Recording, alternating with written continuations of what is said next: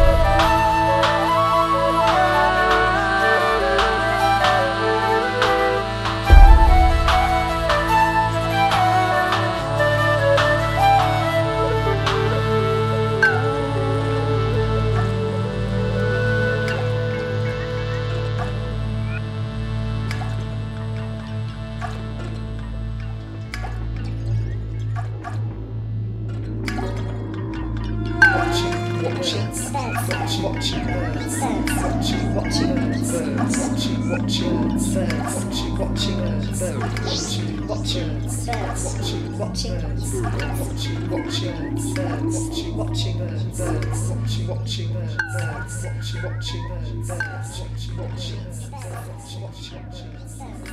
watching birds, watching, watching birds.